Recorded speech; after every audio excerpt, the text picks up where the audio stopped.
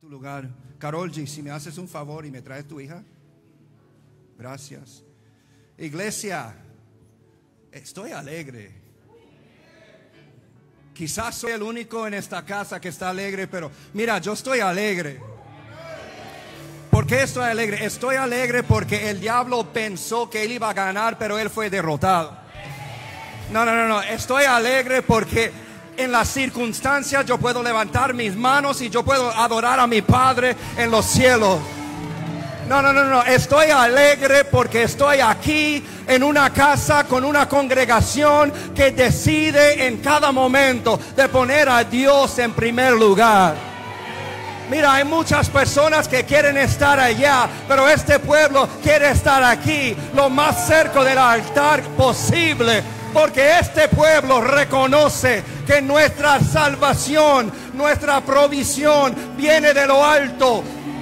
Y tenemos que mirar a las montañas esperando para ese momento que tu bendición se desata de los cielos a tu vida. Estoy alegre. Hijita Zoe, ven aquí por favor. Y ella no sabía que yo iba a hacer esto. ¿Cómo estás? Bien, Aleluya. ¿Cómo te llamas? soy. Mi mamá me dijo algo de ti hoy. Y no vengan con ideas, lo tengo que sentir. Est- Estamos, estoy haciendo algo especial en este momento. Mi mamá me estaba diciendo que, wow, Zoe hoy en la mañana estaba dando ah, pasteles a la gente. Y ella me dijo que tú estabas dando, pero que también es tu cumpleaños. Eso es verdad. Sí, Mira, muchas personas solo quieren recibir en sus cumpleaños, pero esta muchachita es un dador. Y no estoy colectando las ofrendas, eso le toca al líder Tomás, pero lo puedes aguantar en tu corazón para ese tiempo de ofrendas. Y mira, por años tú me estás dando regalos. Cada vez que yo visitaba Panamá, yo encontraba como un dulcecito, una nota, algo en mi bolsillo y siempre era de ti, ¿verdad? Y cuando mi mamá me dijo que tú estabas dando ah, pasteles a la gente en tu cumpleaños, yo dije, ¿tú sabes qué? Yo le voy a dar 20 dólares para su cumpleaños. Eso es lo que yo dije. Eso es para ti. No, no, no, pero espera. ¿Cómo se llama mi mamá? mam- mami Minerva. ¡Ey, gloria a Dios! Y mami Minerva me dijo, si tú le vas a dar 20 dólares, yo le voy a dar 20 dólares también. Feliz cumpleaños.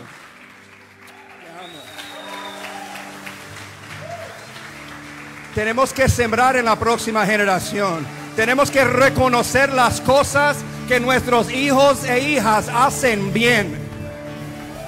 Gloria a Dios. Yo tenía que salir con algo más allá de lo que yo le di al indigente esta semana cuando yo lo compartí en la mañana, que yo solo tenía un billete de, de 20 dólares y él, él me pidió por una bendición. Y yo le dije sí sin saber que yo no tenía billete de uno o de cinco. Yo le di un billete de 20 y él ni sabía cómo, cómo recibir eso.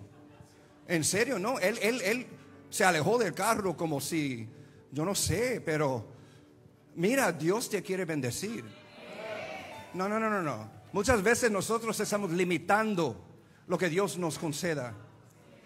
Ese hombre ahí me mostró un espíritu que está en muchos de los panameños, que tienen miedo de ser ben- bendecidos. Tienen miedo. Una cosa que él me dijo es, es, eso es un compromiso. Yo dije, ¿un compromiso de qué? ¿Qué me puedes dar tú a mí? Yo dije, ¿tú sabes qué? Sí, sí, eso es un compromiso. Él dijo, pues qué. Y yo dije, yo estoy sembrando en ti estoy esperando una cosecha, pero estoy esperando una cosecha de tus victorias aquí en esta tierra. El Espíritu Santo te trajo aquí en esta mañana para oír esa palabra, pues ahora estás lleno en tu bolsillo, pero ahora estás lleno en tu espíritu también. Vaya con el poder y la victoria del Señor.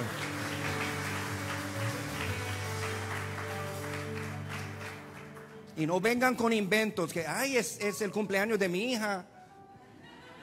Lo tengo que sentir, porque yo doy cuando, cuando me da la santa gana. Pero Dios está haciendo grandes cosas. Y estoy tan alegre con el grupo que tenemos aquí. Ustedes son, mira, los maranateños más bellos en todo este domingo. Hay muchos que estaban allá en la central, pues eh, eso aplica a ustedes también. Y yo no sé, yo, yo, yo trato de imaginar otras congregaciones y, y cuando yo miro a ustedes, ellos se ven a la distancia sin verlos realmente, se ven feos porque ustedes son tan bellos. Mira, porque mi gente, los, los, los que yo amo, se parecen hermosísimos, ¿verdad? Y eso es lo que yo siento por ustedes en esta tarde. Estoy alegre también porque estoy predicando otra vez del desierto. Uf, yo sentí el espíritu cambiar aquí. ¿Quién dijo que el desierto era algo malo? Yo tengo un amigo en, en- Nuevo México, en Albuquerque, New Mexico, en los Estados Unidos. Él fue criado en Chicago. Él se mudó a Nuevo México y eso es al lado, literalmente, o es, es una ciudad en medio de un desierto. La gente de allá, lo que ellos hacen los fines de semana, ellos van y visitan el desierto. Mi amigo, él iba al desierto y él buscaba animales como arañas o ah, lizards, como iguanas y cosas así. Y él encontraba los animales que estaban sufriendo con algo, que estaban enfermos, que quizás no han comido por mucho tiempo. Y él los rescataba, los alimentaba. Él abrió una tienda y lo vendía. Y ahora eso es la manera que él produce para, para su familia. Mira, tú nunca sabes lo que, lo que el desierto tiene para ti hasta que tú entras el desierto para encontrar. O muchas veces estás en un desierto, pero ni te das cuenta, tú simplemente piensas y lo recibes como si eso es tu vida normal, como si eso es tu destino. Tu, tu destino nunca fue el desierto. Y como les he dicho en, en- en otras semanas, el desierto es tu lugar de formación. Hay algo especial que solo puede salir de ese desierto. Pero no quiero adelantarme mucho. Yo tengo muchísimo de predicar en esta, en esta tarde. No, yo realmente nunca sé cuántos minutos mis prédicas van a ser. Yo simplemente confío en Dios. Mi cuerpo yo creo que me dice que una hora y siete minutos es casi normal. Pero en cada, en cada cultura tenemos palabras, ¿verdad? Usamos esas palabras muy ligeramente, sin saber you lo que realmente significan, o nosotros sabemos lo que significa, pero decidimos creer que, que- que, pues aquí se significa algo diferente. Puede ser una palabra de maldición, pero simplemente porque las masas lo usan, pensamos que, es, que eh, está bien.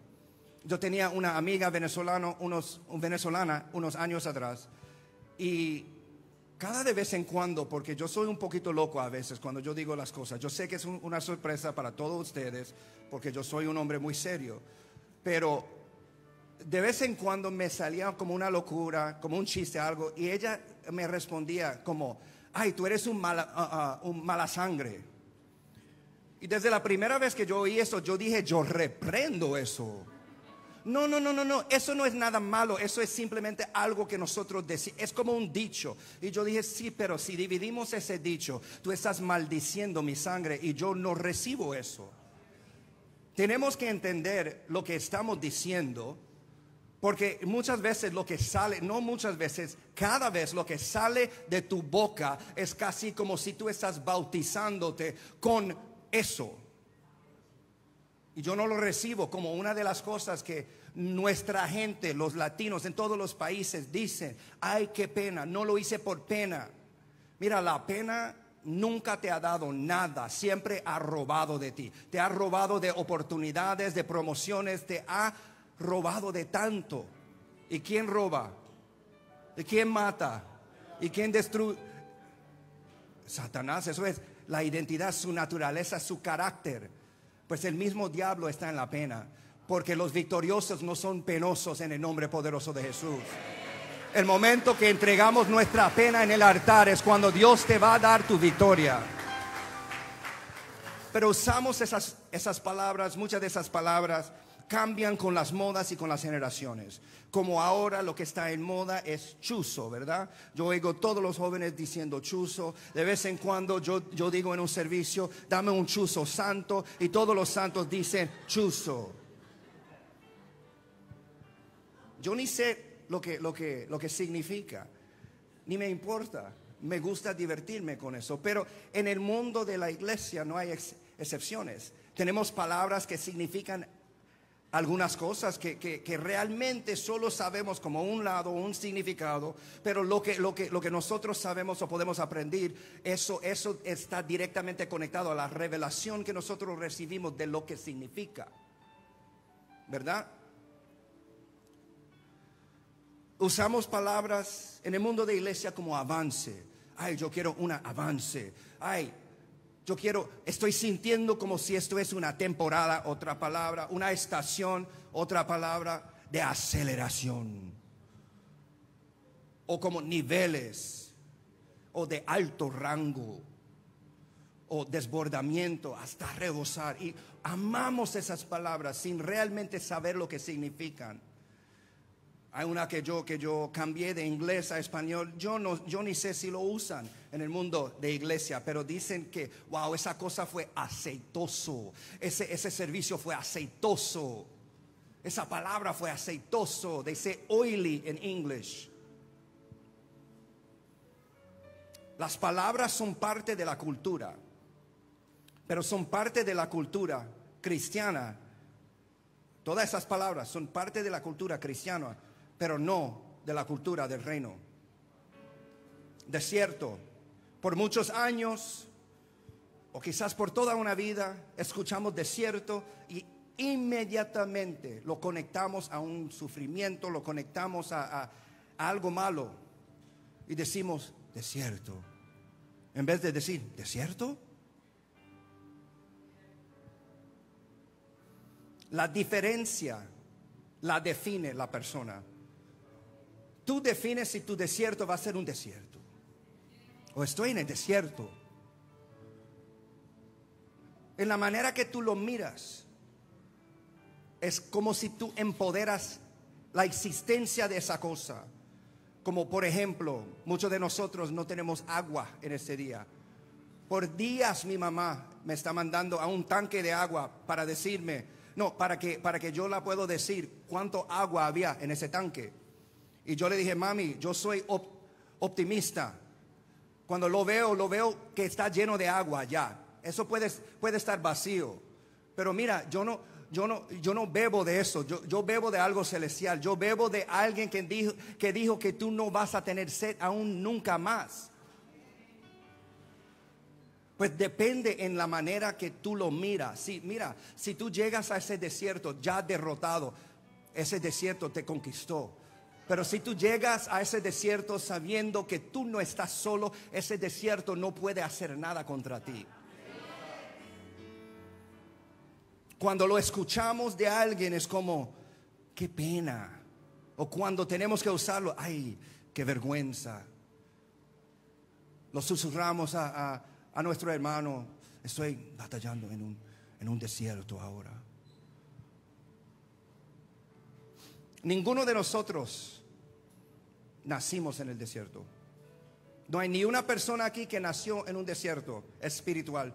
Por lo tanto, ninguno de nosotros debería morir en el desierto porque nunca nacimos ahí.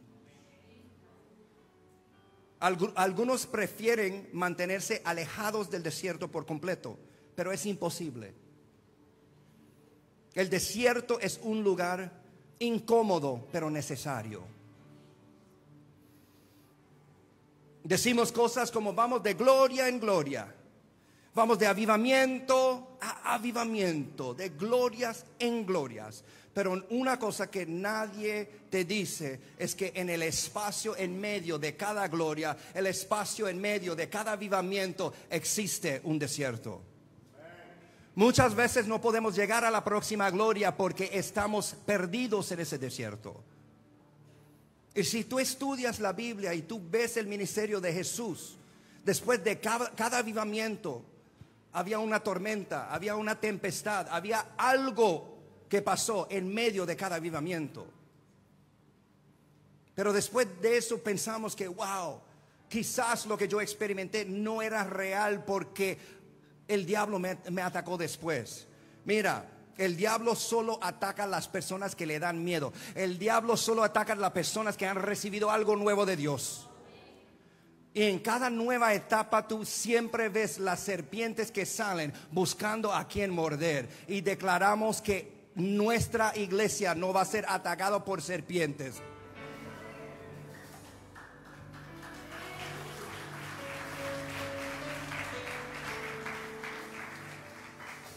En el desierto descubrimos la diferencia en lo, en lo que queremos y lo que necesitamos.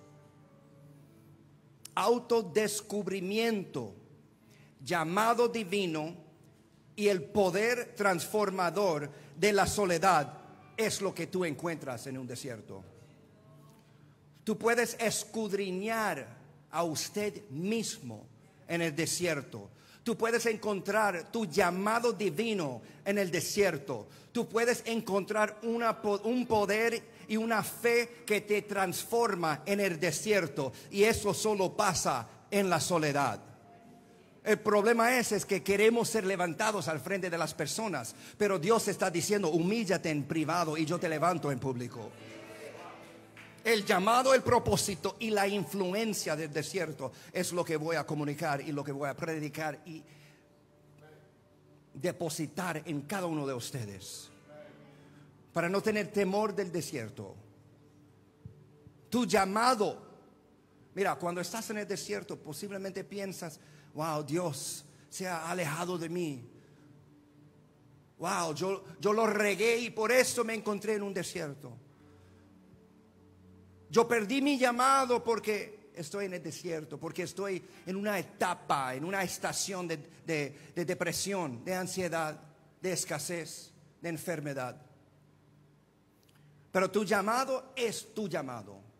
Porque antes de formarse, antes de la fundación de la tierra, yo te conocí por nombre. Dios te conoció. Y Él te escogió para vivir en este tiempo, en esta época.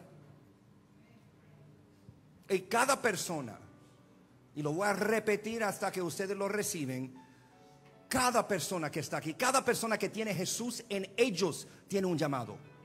Y si alguien en algún momento te ha, te ha dicho, que tú no tienes un llamado, eso es una mentira y así funciona el mismo diablo. Cada persona que verdaderamente tiene Jesús tiene un llamado.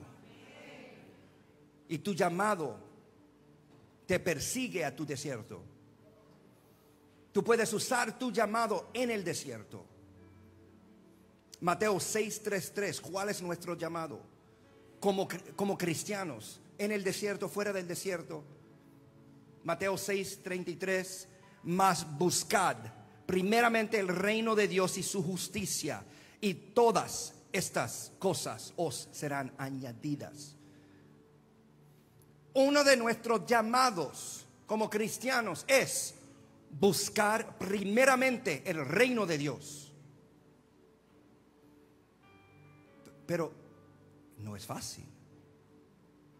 Pero también y yo casi siempre me olvido de esta parte que es la clave de ese versículo para desencadenar la añadidura. Busca primeramente el reino de Dios y su justicia. Wow, eso ahí lo hace más difícil. Porque para buscar la justicia de Dios, para buscar la justicia del reino de Dios, eso significa que no podemos comprometernos a los deseos del mundo. Tenemos que amar todo lo que Dios ama y tenemos que rechazar todo lo que Dios rechaza. Y mira, las serpientes no le va a gustar eso en ti. Las serpientes te van a hablar y, van a decir, ay, mira ese que se cree tan santo, mira esa que se cree tan santa.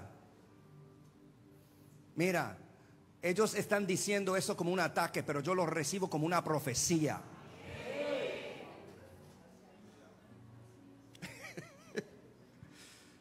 Nuestro propósito. San Marcos 16, 15. Y les dijo, ¿cuál es tu propósito? Y les dijo, id por, todo el mundo y predicad el Evangelio a toda criatura.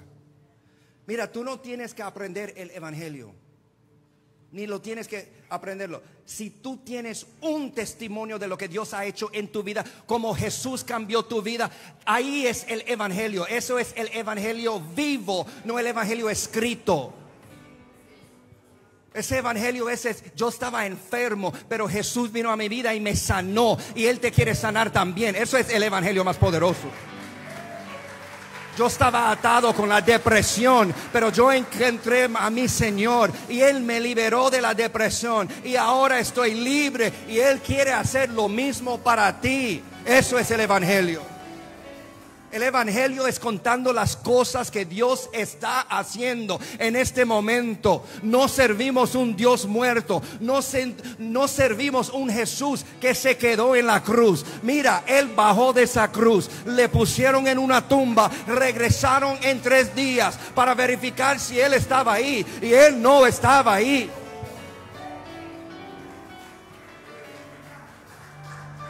Y hasta la Biblia nos dice que ellos estaban tratando de engañar el mundo como, wow, no podemos dejar que esto, que esto, que esta noticia sale.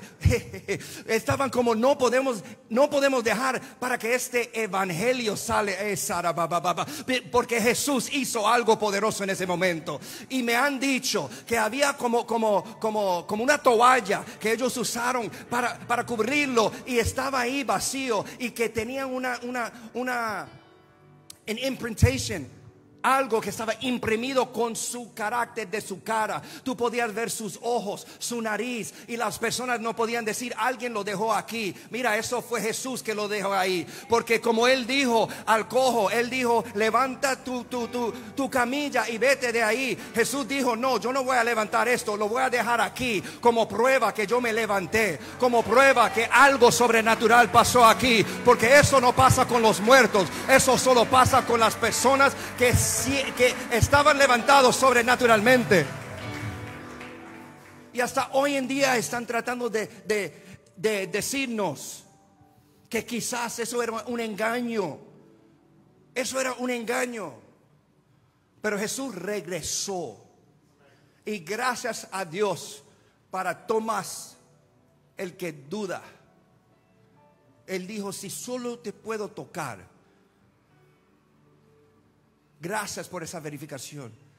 Gracias Jesús por presentarte antes de 500 personas a la misma vez. Oh, eso es un engaño. Eso, eso no. Eh, eh, estaban como hallucinating, estaban ilusionando cosas.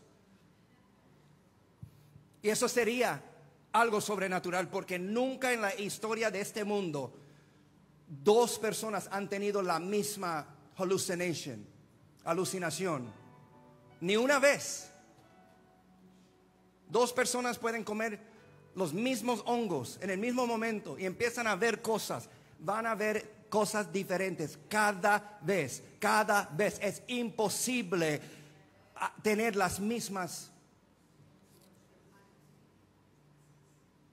Imposible, pero 500 personas vieron la misma cosa. 500 personas escucharon las mismas palabras.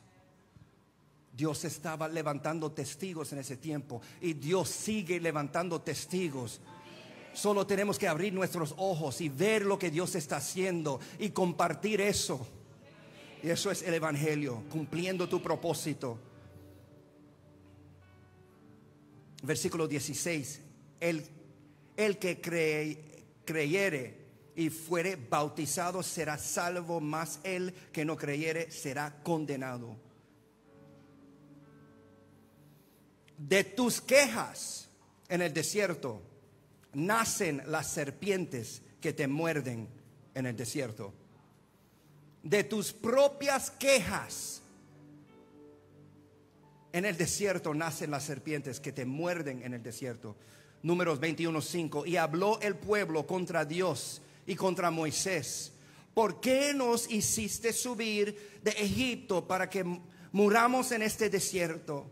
Pues no hay pan ni agua y nuestra alma tiene fastidio de este pan tan liviano. Malagradecidos. 21.6. Y Jehová envió entre el pueblo serpientes ardientes que mordían al pueblo y murió mucho pueblo de Israel. A veces estamos culpando al diablo, pero nosotros hemos hemos dado a luz nuestra propia maldición. Versículo 7. Entonces el pueblo vino a Moisés y dijo, hemos pecado por haber hablado contra Jehová y contra ti. Ruega a Jehová que quite de, de nosotros estas serpientes. Y Moisés oró por el pueblo. Ellos desataron esa maldición sobre sus vidas con sus quejas. Número dos, el propósito del desierto. Pensaste que el diablo te envió al desierto para matarte, pero Dios te dejó ir para edificarte. Lo que el enemigo pretendió para el mal, Dios lo usará para el bien. Dios te permite ir al desierto para quitar las distracciones. En Osea 2, 14 dice, pero he aquí que yo la atraeré y la llevaré al desierto y hablaré a su corazón.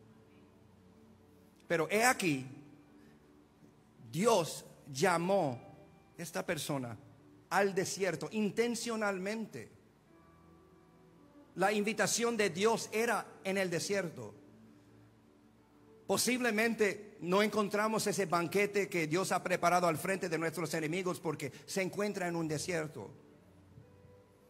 Pero Él la llamó al desierto y para hablar a su corazón, significando que donde ella estaba, Dios, las palabras de Dios no podían llegar a su corazón. Dios estaba buscando un tiempo uno a uno con esta persona. Y con muchos de ustedes Dios está buscando, esperando para una oportunidad de tener un uno a uno contigo. Pero hay muchas distracciones. Hay muchas voces en nuestras vidas. Hay muchas personas que ellos profetizan sobre nosotros y lo creemos. Y en el momento que lo creemos, damos vida y poder a esas palabras que ellos han desatado sobre nosotros. Mira, si tú antes estabas casado y si tu ex te decía, tú no vales nada, nadie te va a amar, nadie te va a querer. Eso es una mentira del diablo. Hay alguien que ya te amó y él murió por ti. Él murió por ti. Si tú recibes, si tú crees esas palabras, tú le das poder a esas palabras. Dios te ama. Dios te ama. Dios te hizo perfecto. Hasta tus imperfecciones, cuando Dios lo mira, eso mueve su corazón. Y Él dice, mira lo que yo hice.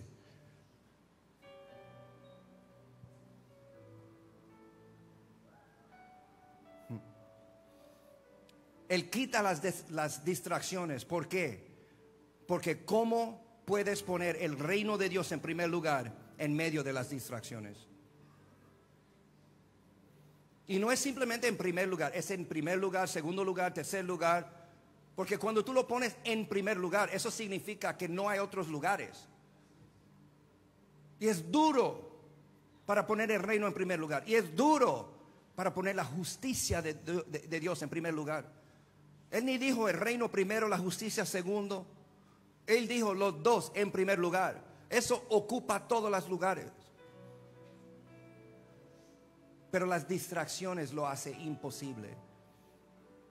Es una promesa. Es una promesa. Hay personas que están deprimidos porque están buscando un hombre o una mujer.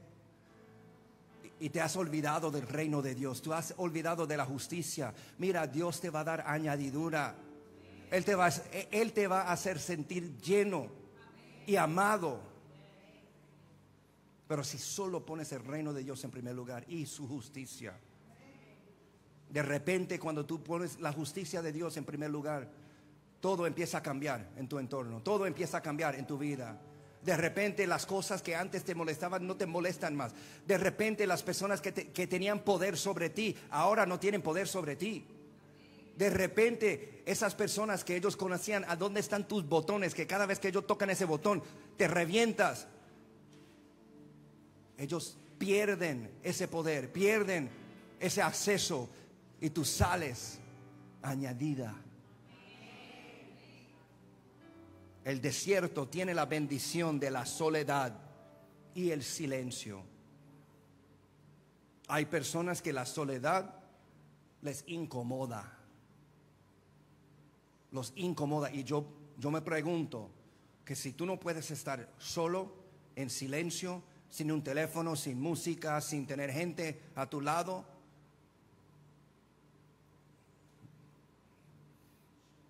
Eso me, me- me preocupa un poquito. Si tú siempre tienes que tener ruido, sonido para llenar un espacio, yo no sé si, si te amas a ti mismo, porque es casi como si no quieres estar solo con usted mismo. Mira, tú eres bello. Dios está buscando ese momento de soledad y de silencio para sentarse contigo. Solo, te- solo tienes que tener fe y cerrar esa puerta. El Padre te espera en ese lugar secreto. La soledad silencia la voz de los haters y la soledad silencia el ruido de tu entorno. Hay muchas personas en estos fines de semana que van al interior. Es una vida que, que tiene como una velocidad muy diferente de la ciudad. Tú puedes oír los animales, tú puedes, en algunos sentidos, oír nada. Y el mundo se parece más grande. De repente tú notas la belleza de Dios, la belleza de sus creaciones. De repente se convierte en noche y tú miras hacia arriba y tú puedes ver la belleza del universo, de las estrellas, de la luna. Y son cosas que no tienes cuando estás en la ciudad. Porque han quitado distracciones. Hay belleza que tú puedes encontrar en la soledad. Si tú simplemente puedes aceptar estar solo por unos minutitos y permitir que Dios te muestre algo mejor. Juan el Bautista se encontró en un ámbito donde se podía escuchar la voz de Dios. Juan el Bautista en el desierto encontró un secreto para tener acceso a un ámbito donde él podía escuchar la voz de Dios. Dios habló más al pueblo de Israel en el desierto que en la ciudad. Dios llegó a un punto cuando ellos estaban en el desierto donde Él dijo, ni les voy a hablar más. Pero antes de eso, Él estaba hablándolos, hablándolos, hablándolos. Él habló más con el pueblo de Israel en el desierto de que en la ciudad.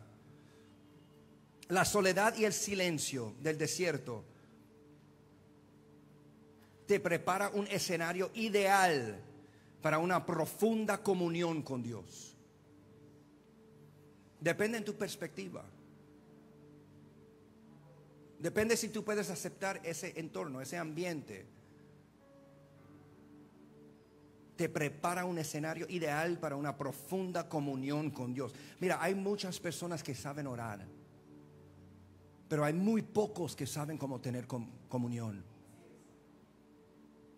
Cuando tú tratas de tener comunión con Dios y tú le hablas y tú no oyes sus respuestas, ay, no, no, no, yo prefiero orar porque me siento un poquito loco simplemente hablando sin oír. Empezamos a orar con un costumbre, con una costumbre de yo oro y no habla. Y ahí está tu fe. Mira, Dios siempre está hablando. Dios está tratando de prepararte en ese lugar secreto para que tú puedes oírlo. El pueblo de Israel, él dijo, no les voy a hablar más porque si les hablo, si me, si me, me presento más, ellos van a morir.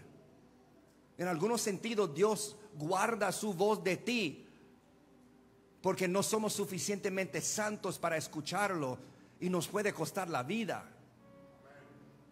Eso es la misericordia. Muchas veces Él no nos habla porque no estamos preparados para oír lo que Él quiere decir. Porque Él te va a decir exactamente lo que tú piensas que Él te va a decir. Y lo que tú no quieres oír. Pues yo, yo prefiero orar, pero no le voy a hablar. En la soledad es el escenario perfecto, ideal para tener comunión con Dios. Pero siguieron mirando hacia atrás y terminaron corriendo en círculos. El pueblo de Israel fue enviado al desierto para sacar el Egipto de su corazón. Pero ellos siempre estaban recordando esos días cuando estábamos en, en, Egipto. Mira, cuando estaban en el desierto la esclavitud se parecía atractivo ay, si solo podemos regresar, sí, tenemos que trabajar un poquitito, pero por lo mínimo tenemos comida, por lo mínimo tenemos casas, no estamos perdidos en un desierto. Y hay personas así también con un matrimonio viejo, que te alejas y la próxima vez que tú lo ves o tú la ves y tiene como un vestidito nuevo, un trajecito nuevo y de repente las cosas que te molestaba antes, ay, quizás yo estaba inventando, exagerando un poquito y se ven más atractivos. Hasta que tú hablas con ellos y ellos abren su boca y dicen, no, no, no, eso fue la confirmación que yo, que yo necesitaba. Estoy libre y me voy a quedar libre. Egipto estaba convencido que la esclavitud era mejor que el desierto. Pero ellos, por estar mirando hacia atrás, caminaron en círculos por años. Si tú caminas en un, en un bosque con, ¿cómo se llama la cosita? brújula. Si tú caminas con eso, tú puedes ir a la dirección donde estás tratando de ir. Pero si tú no tienes eso y tú simplemente caminas, muchas veces tú vas a caminar en un círculo, tú te vas a encontrar en el mismo lugar. Pero es imposible ir directamente en una dirección si siempre estás mirando para atrás. Es imposible porque tus piernas no están alineadas, tu, mirada está atrás. Yo antes um, hacía el snowboard, el patinaje de nieve. Y una cosa que yo aprendí es que si yo quiero evitar algo en mi camino, yo tenía que mirar a otra cosa. Yo tenía que mirar en otro lugar. Porque mi, tabla iba a ir en la dirección de mi mirada. Muchas veces estamos tan enfocados con el problema que llegamos cara a cara con ese problema cuando tenemos que mirar a otro lado, cuando tenemos que poner nuestros ojos a lo alto y yo tenía un, amigo que él casi mató un, un, nene que tenía como 10 años. Y mi amigo era un muchacho grande, Tony, tú lo conoces. Y él estaba volando. Eh, por, por, por, dos años él me decía, sí, sí, sí, yo sé cómo hacerlo, yo sé cómo hacerlo. Y yo estaba como, ¿estás seguro? Porque tú nunca me has dicho que has ido. Sí, sí, sí, lo sé cómo hacer, lo sé cómo hacer. Y fuimos. Y él estaba como un poquito orgulloso. No sé si hay tal cosa, ¿verdad? Un poquito de orgullo.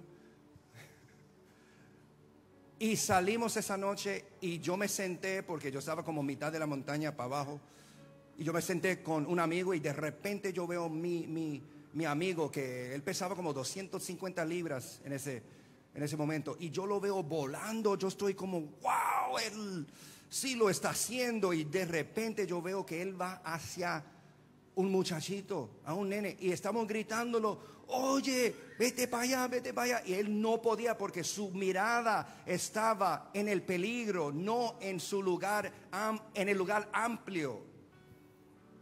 Y él por poco lo revienta. Estoy seguro que él iba a matar a ese niño.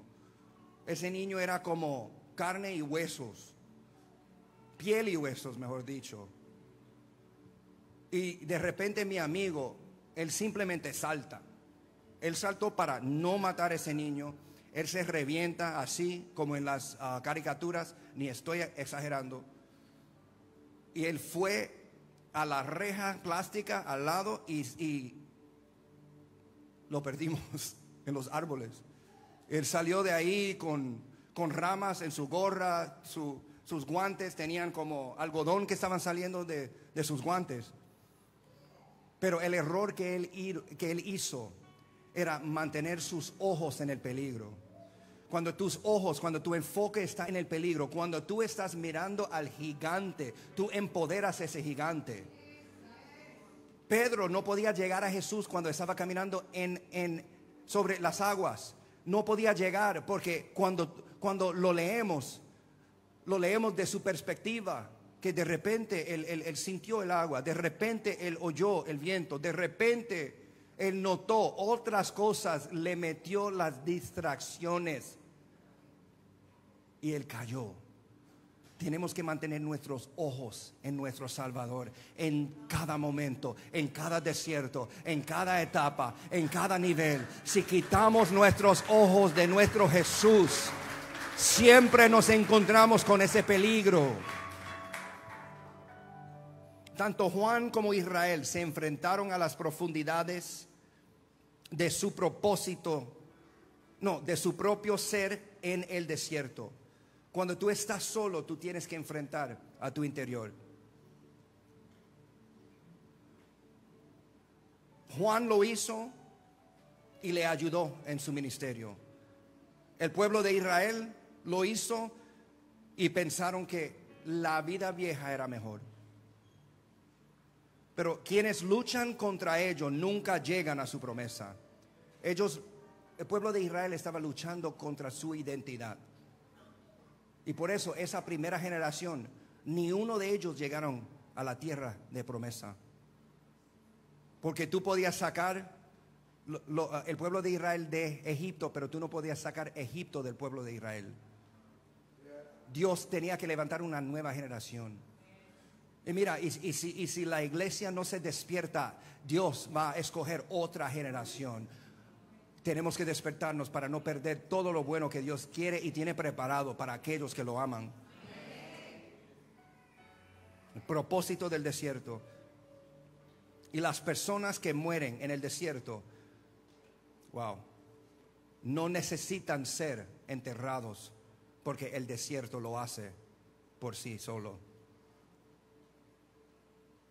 El desierto funciona para eliminar distracciones y eso te prepara para enfrentar lo que hay en tu interior y te lleva a un avance espiritual. Número tres, la influencia del desierto. ¿Cómo estoy con tiempo? Ay, yo tengo como una hora más para este servicio. Esa risa incómoda. Ay, mi pastor lo hizo otra vez. A veces yo digo que yo tengo el espíritu de faraón porque yo no dejo la gente ir. Número tres, la influencia del desierto. Es imposible, nosotros, todos de ustedes ya lo conocen, es imposible ir a una playa, ¿verdad? Y que la playa no, no tenga algún tipo de influencia sobre ti. Algunos van a la playa y salen quemados, algunos van a la playa, salen más, más negros, algunos van a la playa y, no sé, salen en pecado.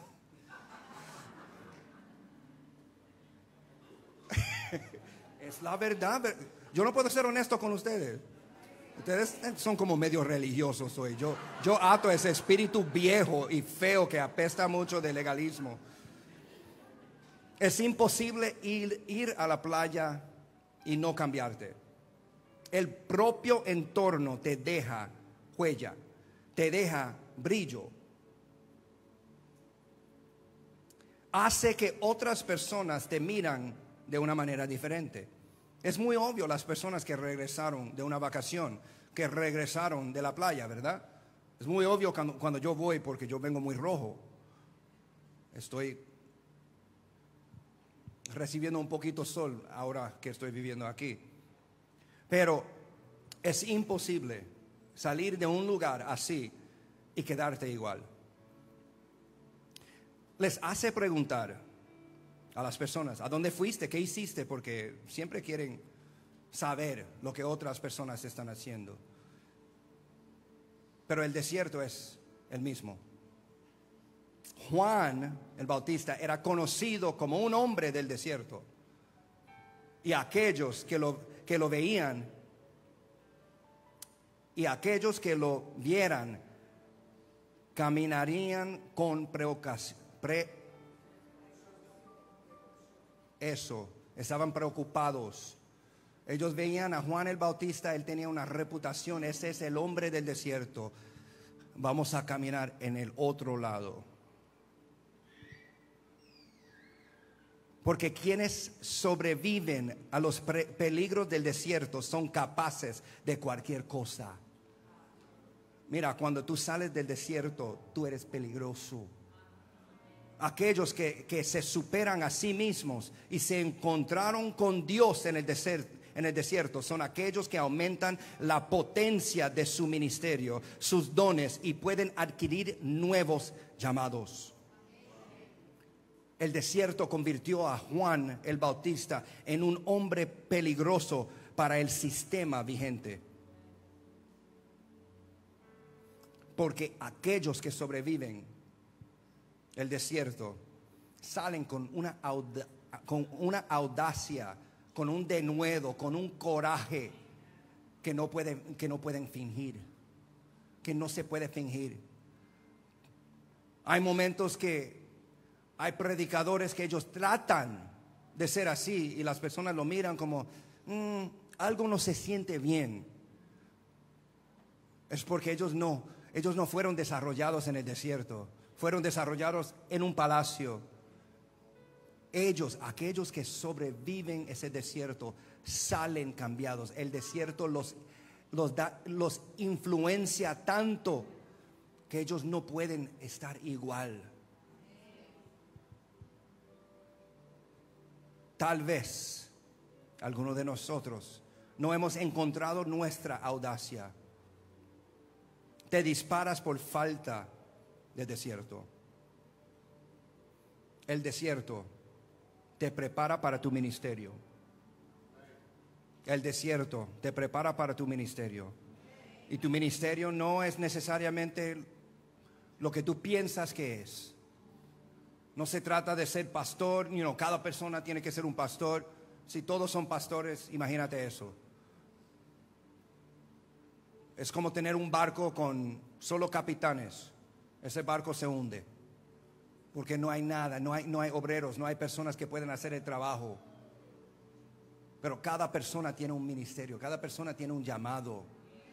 Y Dios solo te lo revela en esos momentos, en esos desiertos. ¿Cuál es tu ministerio? Tu ministerio siempre es volver a los desiertos de tu pasado y mostrarles la puerta a los demás que están en ese mismo desierto. Porque ¿cómo puedes sacar a otros del desierto si no conoces ese desierto?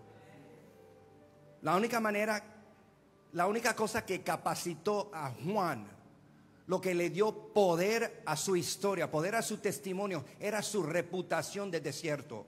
Y cuando él predicaba, él predicaba con un denuedo, con una convicción que llegaba a los corazones de las personas que le escuchaban. Y eso solo sale de una persona que ha sufrido por algo. Mira, tus, tus sufrimientos en el reino de Dios son siembras si tú sufres solo sin Dios, estás sufriendo para nada. Pero si tú sufres para Dios, es una siembra. Y cada vez que sembramos en el reino de Dios, la cosecha es más grande. ¿Cómo vas a sacar otro del desierto si no conoces ese desierto? ¿Y cómo lo sacas? La sacas con la puerta que tú encontraste cuando tú saliste de ese mismo desierto. Y esa puerta tiene un nombre y se llama Cristo. Mi quinto punto y posiblemente mi último punto. Eh, vamos a ver.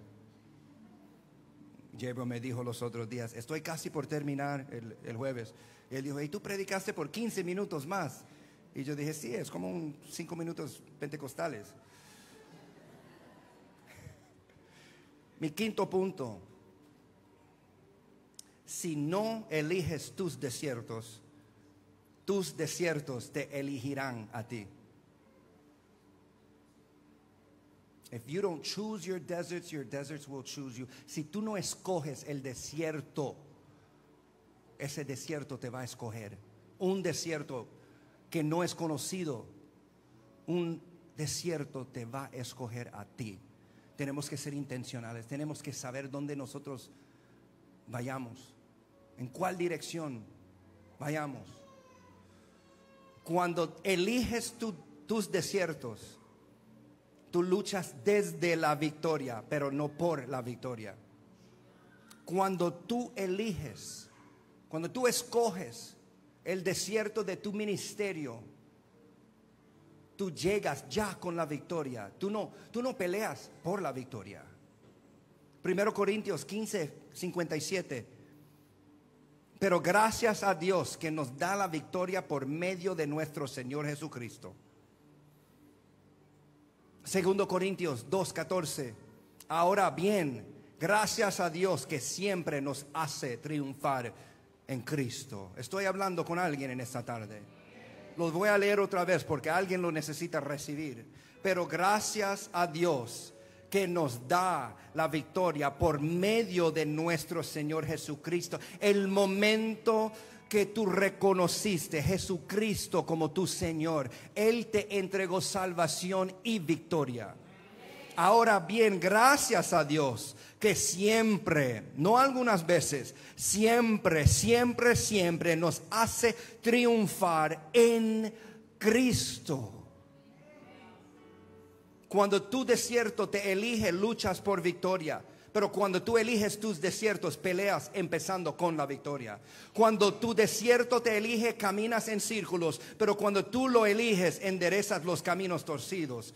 Cuando tu desierto te elige, tienes que buscar la puerta, pero cuando tú lo eliges, tú llevas otras a la puerta. Cuando tu desierto te elige, tu desierto te cambia, pero cuando tú eliges tu desierto, tú cambias ese desierto. Una de las cosas más poderosas que provienen del desierto es el hambre y la sed. El hambre y la sed. Bienaventurados los que tienen hambre y sed de justicia, porque ellos serán saciados cuando tú estás en el desierto y no puedes encontrar comida, no puedes encontrar agua. Bienaventurados los que tienen hambre y sed de justicia, porque ellos serán saciados. Yo no sé si hay personas que quieren o necesitan ser saciados, pero dice sed de justicia primeramente pone el reino en ese primer lugar de y su justicia y todas esas cosas os serán añadidas. Mira, en el desierto tú, tú, remuevas las distracciones. En el desierto tú encuentras tu hambre, tú encuentras tu sed para la justicia de Dios. Y eso no puede pasar cuando estás lleno. Eso no puede pasar cuando estás con mucho ruido. Eso no puede pasar en medio de la compañía. Eso solo puede pasar en la soledad. Porque Dios está esperando para un uno y uno contigo.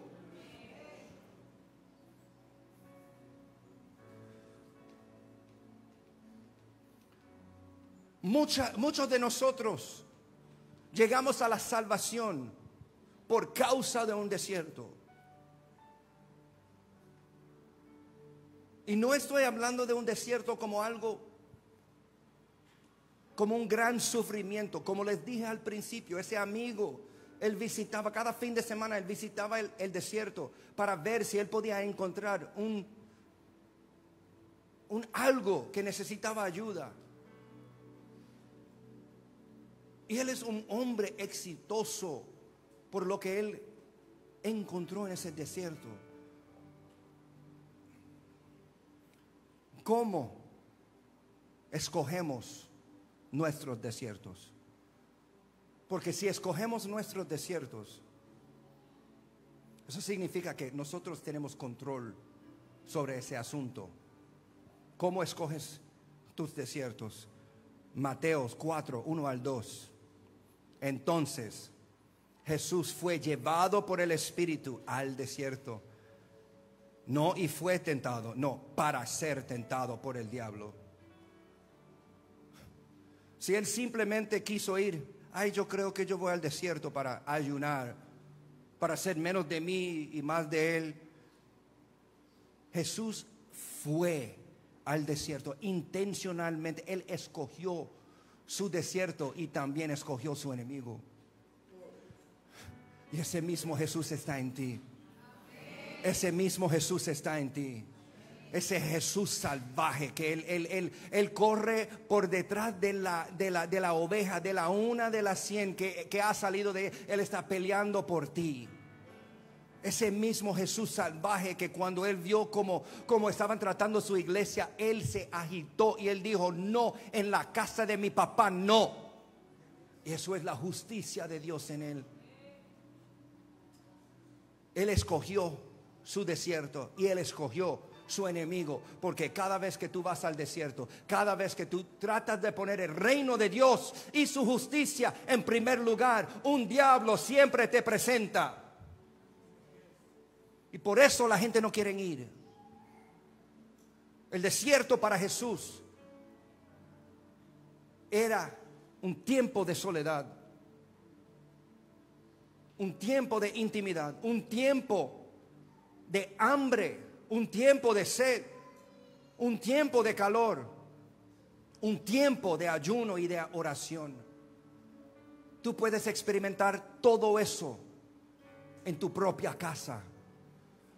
Tú puedes decidir que, wow, yo necesito un avance en mi vida, yo necesito que las cosas cambian. Y ahora yo declaro que este, este, este closet, ahora yo declaro que este cuarto va a ser mi desierto hasta, hasta, hasta que algo cambia, hasta que yo siento ese avance en mi, en mi vida, hasta que yo recibo lo que yo tengo que recibir de mi Padre en los cielos. Yo no me muevo de aquí hasta que las cosas cambian.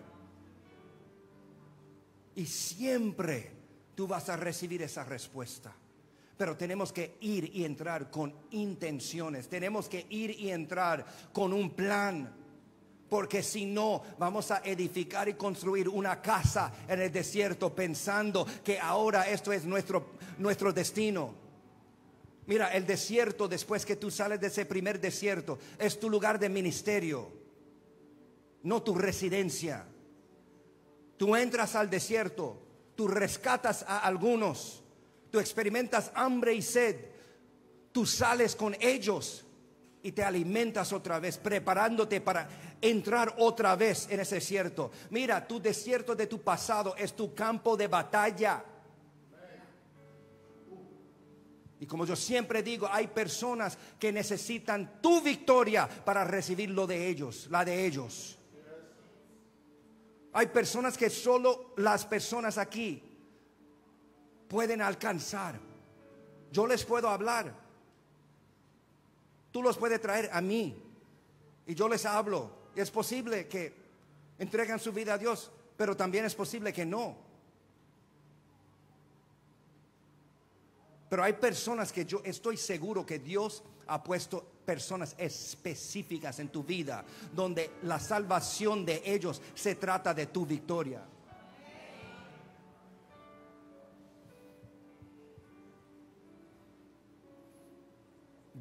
Y después de haber ayunado 40 días y 40 noches, tuvo hambre.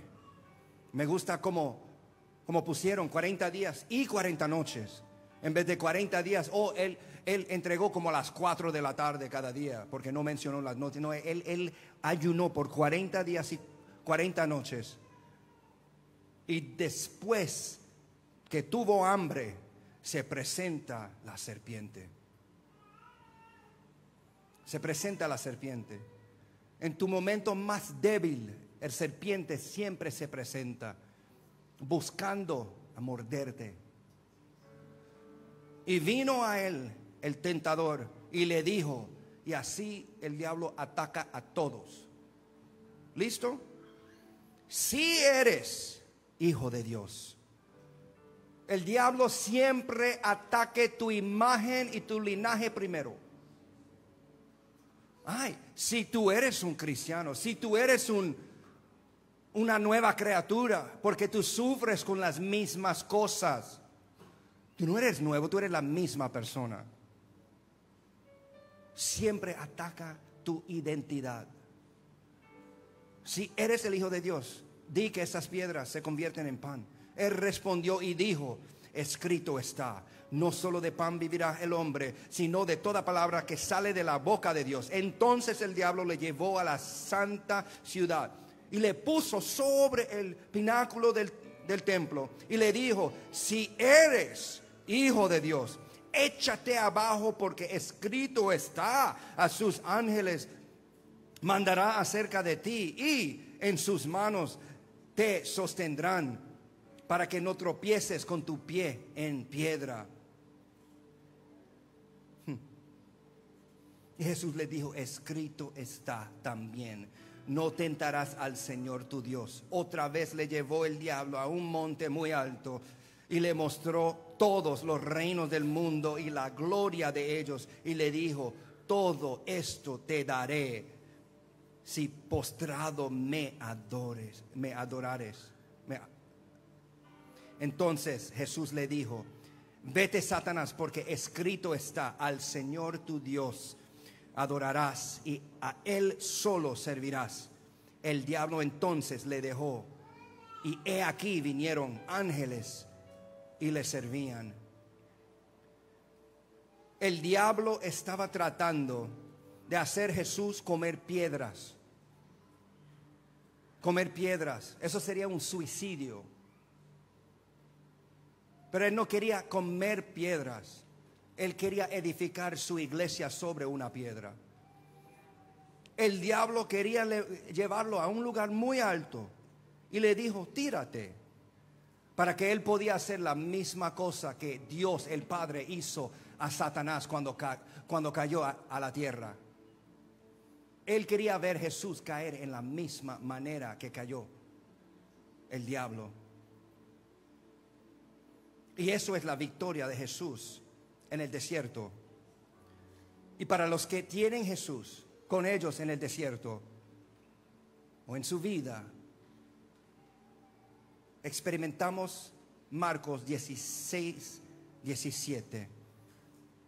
Y estas señales seguirán a los que creen en mi nombre, echarán fuera demonios, hablarán nuevas lenguas. 18, tomarán en las manos serpientes. Cuando tú tienes Jesús y cuando tú vas al desierto para rescatar a otros, a otros y la serpiente sale para atacarte, para morderte, tú no tienes miedo, pero estás protegido y tú tomas esas serpientes que antes te mordían, tú lo tomas en tu mano. Y para cerrar, Dios hará un ejemplo de tus enemigos. Dios hará ejemplo de las serpientes que antes te atacaban, que antes te ataban, apretándote. Y Él lo hizo en números 21, 8 al 9. Y dice, esto es continuando de lo que pasó con el pueblo de Israel, que con sus quejas dio a luz un ataque, una plaga de serpientes. Y dijo, y Jehová dijo a Moisés, hazte una serpiente ardiente y ponla sobre una asta y cualquiera que fuera mordido y mirare a ella vivirá. Y Moisés hizo una serpiente de bronce y la puso sobre una asta. Y cuando alguna serpiente mordía a alguno, miraba a la serpiente de bronce y vivía. Dios hará ejemplo de tus enemigos cuando tú conquistas ese desierto. Y estoy seguro, estoy seguro que si reconocemos si empezamos a intencionalmente escoger nuestras batallas y no esperar para que las batallas nos escogen, eh, son los momentos que junto con Jesús podemos pisar escorpiones, podemos holcar serpientes y Dios hará un ejemplo de ellos. Vamos a cerrar nuestros ojos.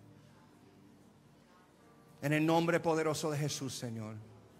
Te doy gracias, Señor, por esta tarde. Te doy gracias, Señor, por este servicio. Te doy gracias, Señor, por este día, Señor. Te doy gracias, Señor, por cada persona que está aquí, Señor. Porque cada persona que está aquí está aquí por, un, por una razón, por un propósito. Si creemos en ti, no creemos en casualidades, Señor.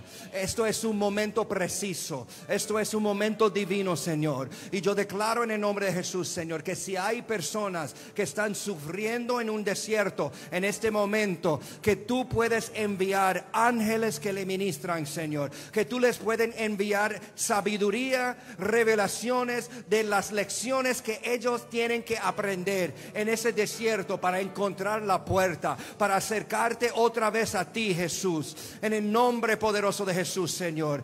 Te doy gracias, Señor, por empezar esta obra en cada persona, Señor. Pero a la misma vez, Señor, si hay personas que están aquí y ellos han perdido un poquito de ese amor hacia ti, un poquito de ese fuego, un poquito de ese hambre y de esa sed, Señor, porque se han cómodos, cómodos en sus palacios, pero no no van y no regresan a sus desiertos, Señor. Yo te pido, Espíritu Santo de Dios, incomódalos, Señor. Regrésalos, Señor. Guíalos, Señor, al desierto, Señor, para que ellos puedan empezar su ministerio contigo, Dios. Porque tú estás esperando para activar tu pueblo. Tú estás esperando para orar y ministrar a través de ti. Porque espíritus necesitan un cuerpo para ejercer su naturaleza. El Espíritu Santo de Dios está esperando para poseer cada persona que se llama cristiano para ejercer su naturaleza. ¿Cuál es la naturaleza del Espíritu Santo de Dios?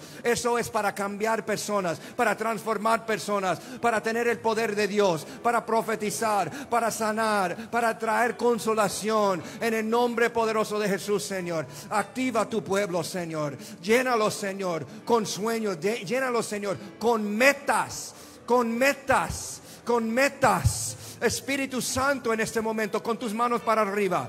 Estoy, estoy creyendo y yo veo que el Espíritu Santo de Dios va a desatar metas en ti en este momento. Si tú pides, Espíritu Santo, ¿qué requieres de mí? ¿Qué requiere de mí para capacitarme? Y ahora el, Espíritu Santo está desatando metas en ti. Está desatando metas en ti. Él está dando una lista de lo que Él quiere para tu vida. Él está dando una lista de lo que Él requiere de ti. Y en muchos sentidos, en muchos momentos, eso duele porque no queremos ministrar a aquellos. Dios te ha mostrado personas en este momento ustedes vieron la cara de la persona en tu mente y tú dijiste, no, eso no es la voluntad de Dios, pero eso fue el Espíritu Santo que, que te mostró la persona que necesita recibir tu amor, que necesita recibir tu perdón, porque cuando tú perdonas serás perdonado. Espíritu Santo, gracias por hablar a tu pueblo,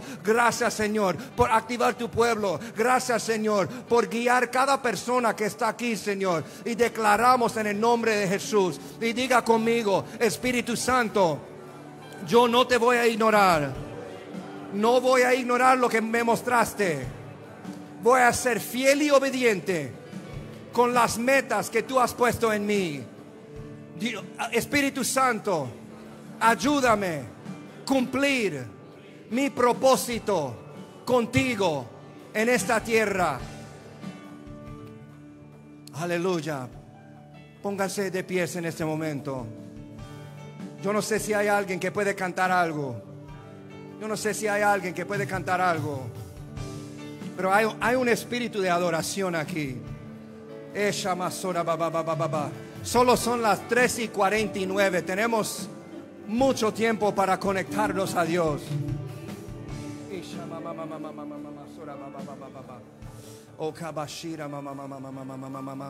Oran en el Espíritu. Yo siento como si el Espíritu Santo le quiere dar consolación a algunas personas. Esas cargas están cayendo.